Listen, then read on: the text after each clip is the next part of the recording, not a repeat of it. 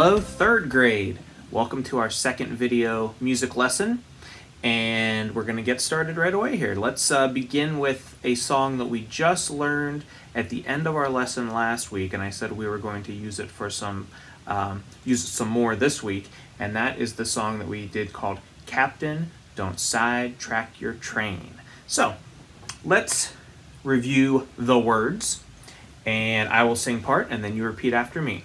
And you may remember we worked on this a little bit last week, how our voice starts low. Captain, don't sidetrack your train down here low. But then the second word, the second sentence, which has the same words, starts up higher. Captain, don't sidetrack your train. All right, so let's try that. Me first, and then you. Captain, don't sidetrack your train. Captain, don't sidetrack your train. Your turn. Ready? Higher. Okay, listen. Number three in line, coming in on time. Captain, don't sidetrack your train. You try it. Number three.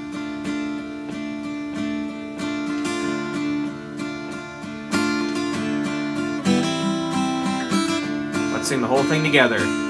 Captain, don't sidetrack your train. Captain, don't sidetrack your train. Number three in line, coming in on time. Captain, don't sidetrack your train. Okay, so we're going to add some instrument parts to that today. And some of these things you can make at home or find something that, that works for these instruments at home. So the first one is we're going to use a steady beat and we need something that'll make sort of like a ch sound. So a couple of music class options. One is a drum and if it has a little bit of a rough edge on it, we can slide our fingers along it and make sort of a kind of sound. Something else and you can make something like this at home, is one of our egg shakers, and you can make these out of just about anything. In fact, I have one here that is just a little plastic container like you find in your kitchen, and it's filled with rice. That makes a pretty good uh, train sound. So anything like that that you would like to find and, and, and even make and put together is awesome. So we need something to make that kind of sound. The second kind of sound is, uh, oh, I'm going to use the glockenspiel. And this is actually going to be for two different parts of the song. Now, there are a couple things you can do if you don't have a glockenspiel or a xylophone type of instrument at home. Number one, you could just get anything that would sound kind of like a bell. I've got a pot, again, from the kitchen, and just a wooden spoon. Ooh, that's kind of loud, but you could do that. Maybe that's a little bit better on the side. Okay? Anything like that.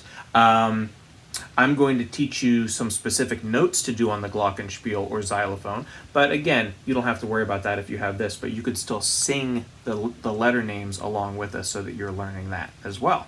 Okay? So here we go.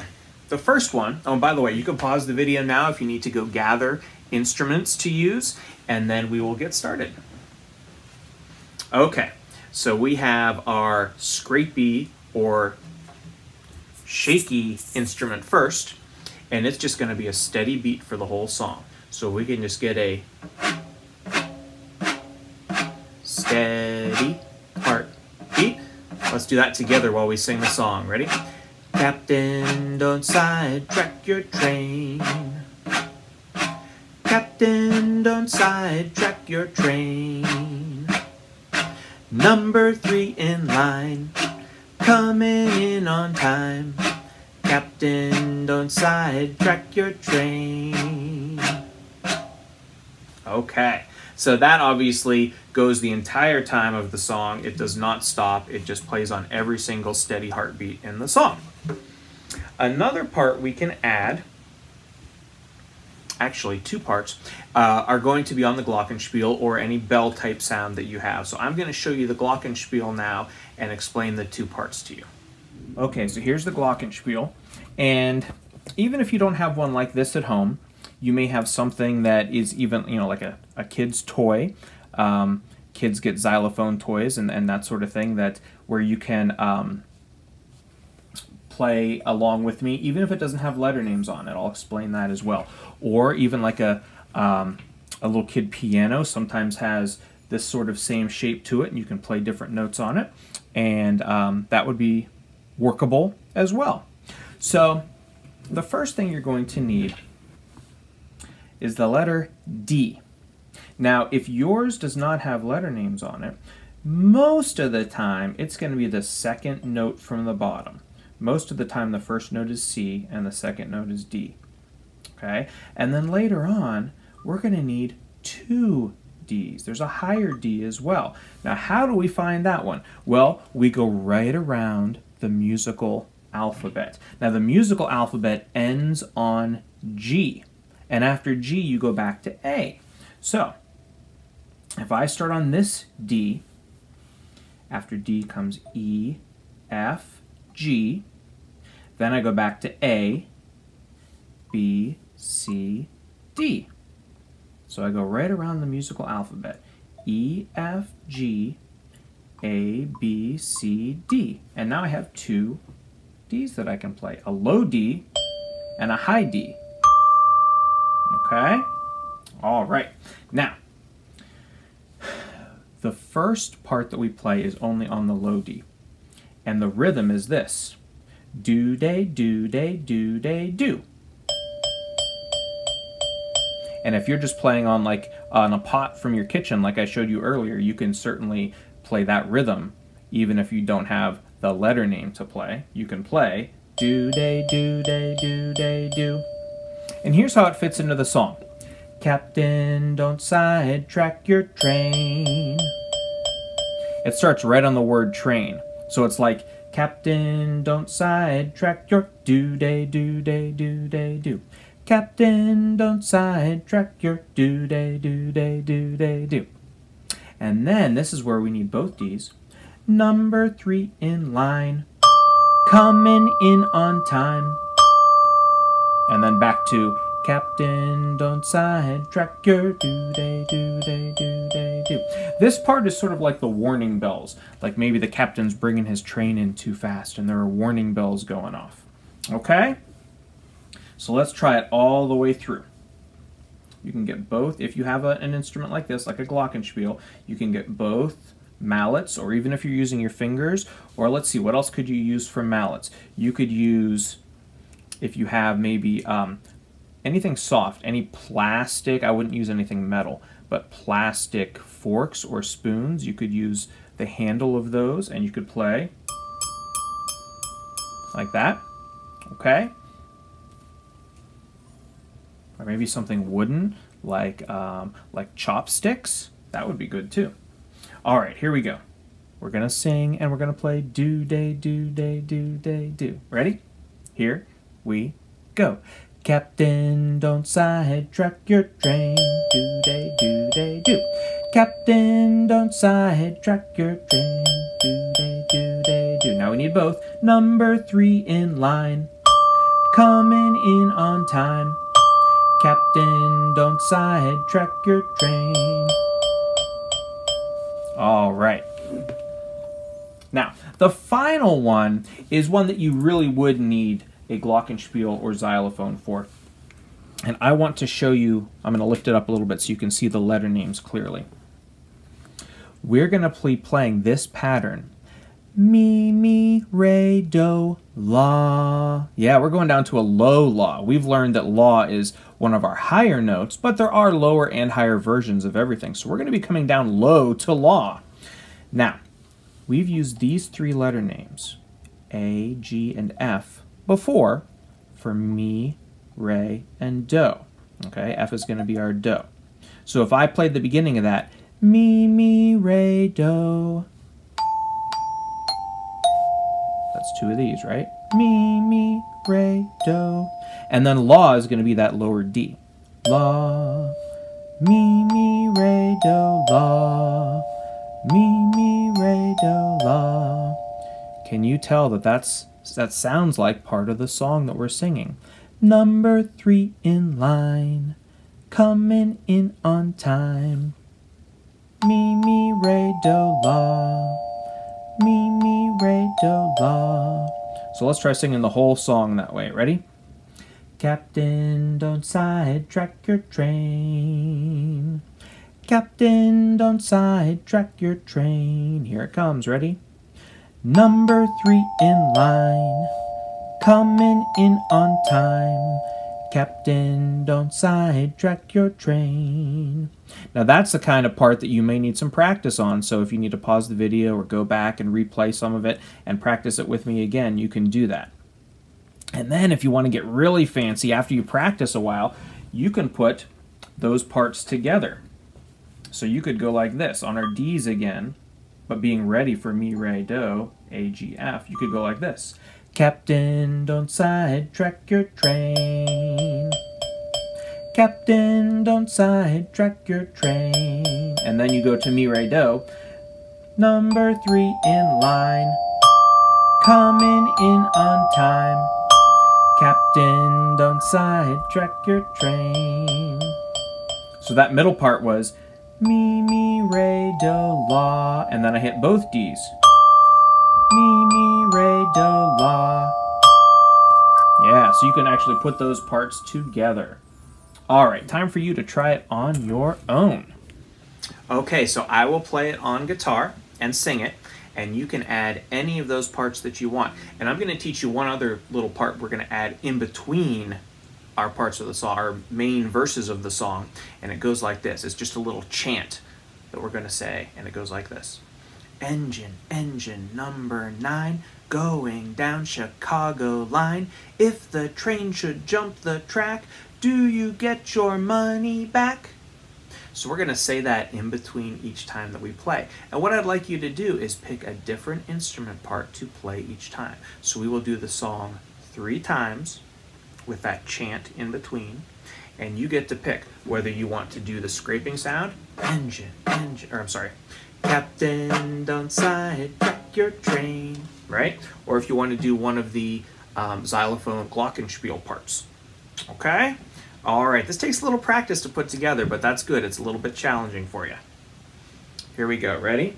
Pick your part. You can help me sing if you can do both at the same time. Here we go. Captain, don't sidetrack your train. Captain, don't sidetrack your train. Number three in line, coming in on time.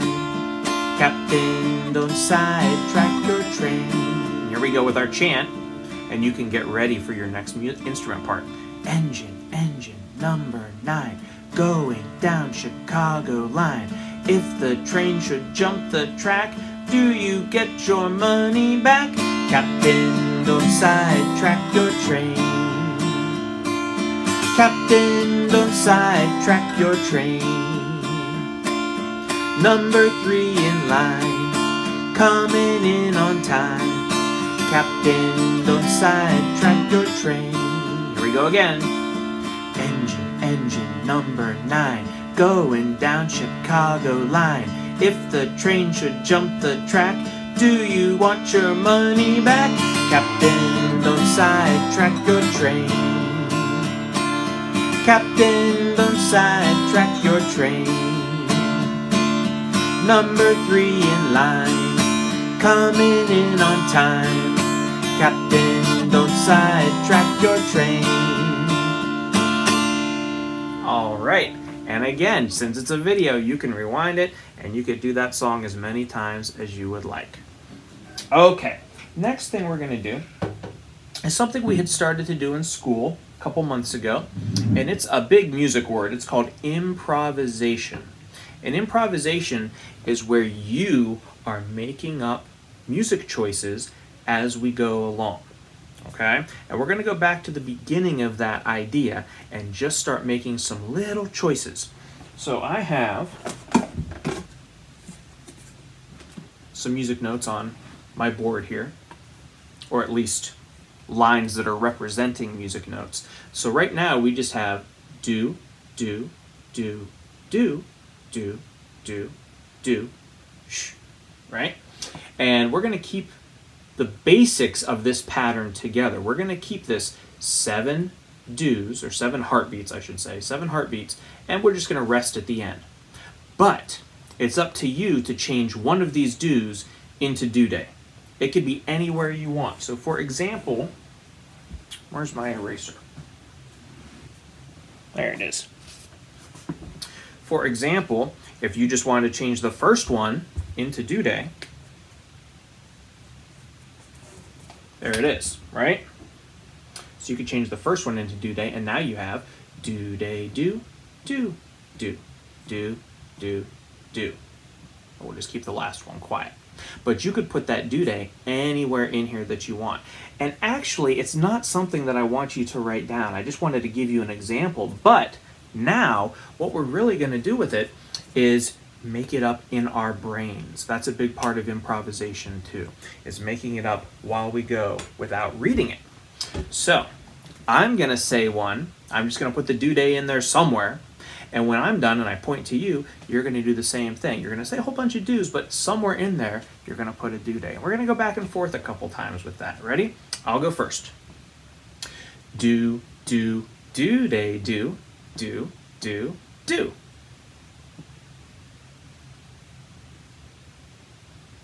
My turn. Do, do, do, do, do, do, do day.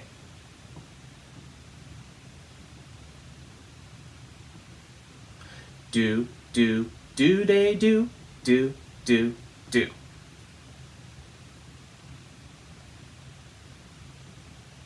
All right, and of course then you could start adding more do days in there. You could put as many as you wanted. So let's try just mixing and matching. I'll say some, just a whole bunch of do's and do days, and you can say one back to me. And you don't have to add a bunch at first, you can just add a couple.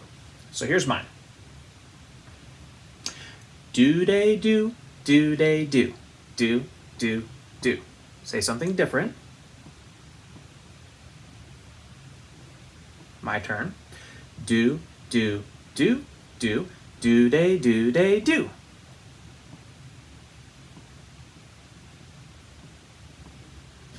Do, day, do, day, do, do, do, day, do, day, do.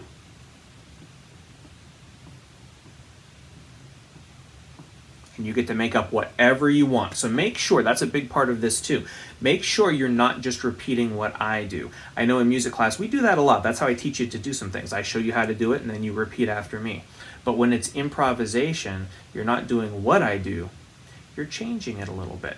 So let's try one more way to do some improvisation. And this is called question and answer when we go back and forth like this. We've been doing question and answer, okay? And that just means one person starts and the other person answers back with a different rhythm. So let's do um, one where we always start the same. And I will show you. Look at the beginning of mine. It's do, day, do, do they do? We're going to start that every time the same. I'll do the question, you'll do the answer, but we will always start our rhythm the same. But the improvisation will be on these last three. Hmm. You could keep them do, do, do, but you could change them to anything you want. Anything you want. Okay? So let's do this for now.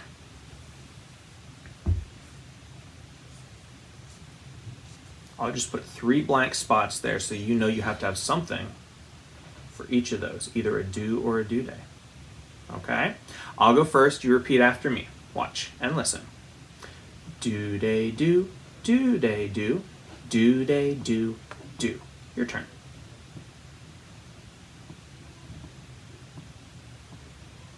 My turn. Do day do, do day do, do, do, do day.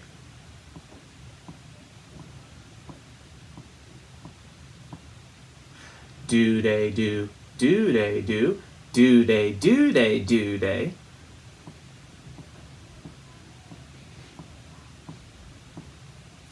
Do day do, do day do, do, do, do day.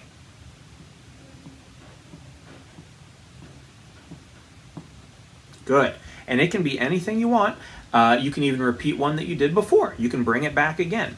The important thing, though, is remember that you're not repeating me, you're making up your own. So that's improvisation, and we'll be doing more with that in the future. Okay, for our next activity, we're going to do some listening, and we're going to listen to some instruments from the percussion family. I'm going to show you a chart that has a few percussion instruments on it, and we'll talk about what percussion is. And then I will play some examples for you that I want you to listen to. And um, sometimes that your job will be to figure out which of those instruments on the chart you are hearing. So here we go. Okay, so here's our chart, and you can see we have six percussion instruments on this chart. Percussion instruments are any instruments that you hit or shake. We have used percussion instruments a lot in music class. Um, any of our rhythm sticks or maracas or claves or tambourines, those are all percussion instruments because you hit, tap, or shake them. Now what you see on this chart are some orchestra percussion instruments and they're a little bit bigger, too big for us to, to use in our music class, but you can see we have some crash cymbals, we have timpani drums, we have chimes, in the middle we have a xylophone, and then in the lower left we have bass drum, and then finally snare drum.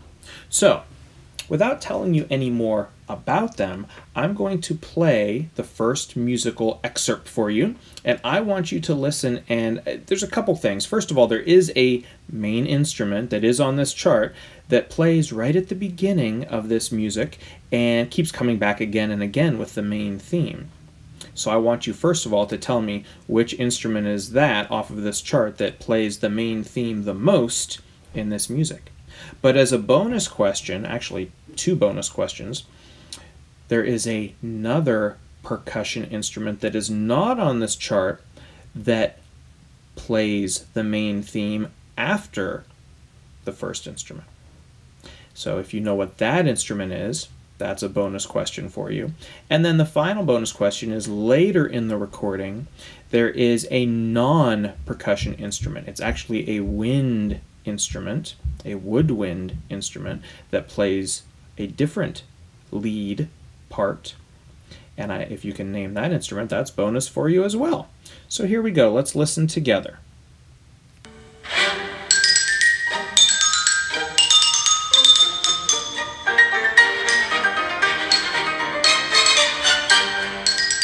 The first one. There's the second one.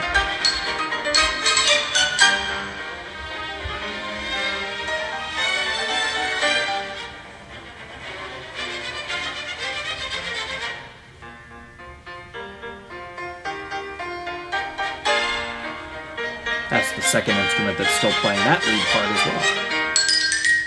Oh, there's the first one again.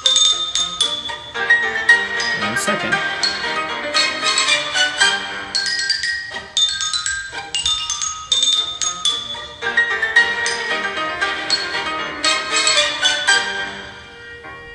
Here's that woodwind instrument I talked about. Do you know the name of that one?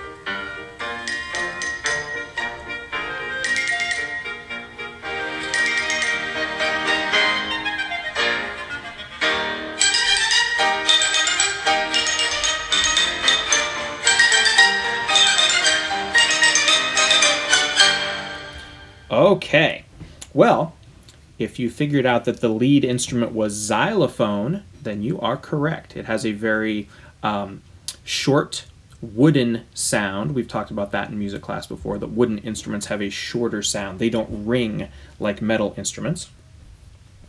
The second lead instrument was the piano. And yes, the piano counts as a percussion instrument too, because there are little hammers inside of a piano that hit on strings and um, that is a percussive uh, movement is to hit hammers on strings. So it is at least partly a percussion instrument. And then for the final bonus question that was a clarinet. The woodwind instrument was a clarinet. Okay, and up next, I'm going to play uh, a much shorter piece of music, and this is just one of the instruments on the chart playing solo all by themselves.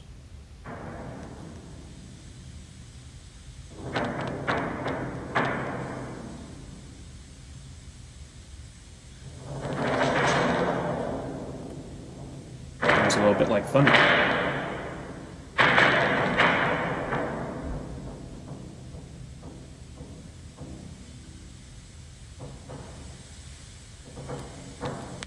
Okay, any guesses as to which one that would be? It's not something that would be built like the xylophone, is it? No, that is the bass drum. It is very big and round, and it's hard to tell from the picture, but it is, oh, usually, a large one is usually like five feet wide. So it is quite big and booming like thunder. Okay, up next I will play just the beginning of a, a musical piece that is meant to sound like a clock. And it starts with the bells of a clock. So which instrument on your chart would this be?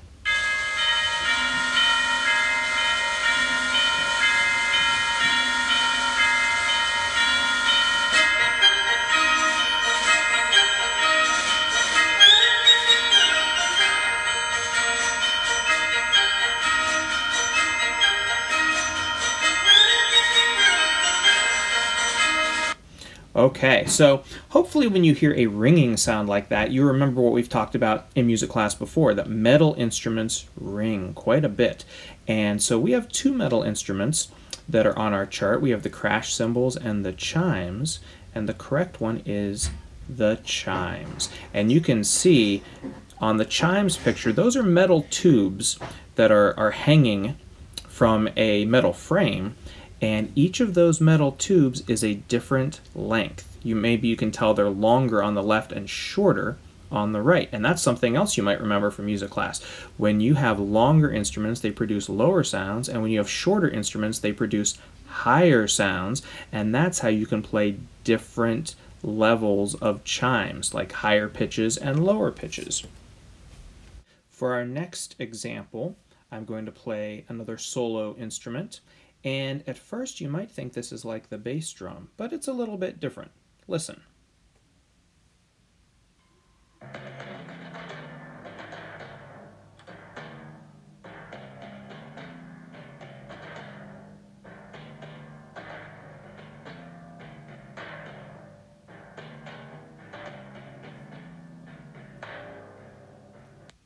Okay, so another big drum like the bass drum, it's the timpani. And in fact, usually when you play timpani, there are more than one drum. So there could be two, three, four, even five timpani drums all set up beside one another. And the reason you would do that is because there's a pedal at the foot of the timpani drum that you can use to tighten and loosen the head, the thin part of the drum that you hit. And when you tighten and loosen the head of the drum, it can produce higher and lower sounds. So timpani sounds kind of like bass drum, except that it can go boom, boom, boom, boom, boom, boom, boom, boom, and move up and down. Okay, up next, we have a very different sounding percussion instrument. Let's see what you think.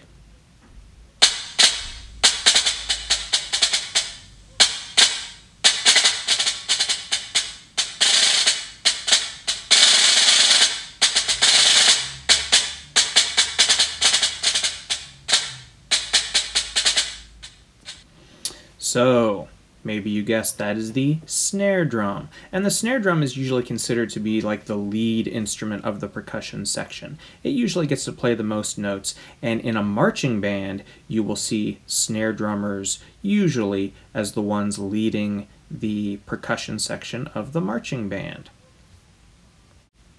And you may have figured out what our final instrument is, and yes, it is the crash cymbals. And instead of an orchestra playing crash cymbals. I chose a marching band. Um, so this is a marching band crash cymbal solo, and you will hear the other drums playing in the background as well. But they have six, five or six cymbal players all doing this crash solo. Here it goes.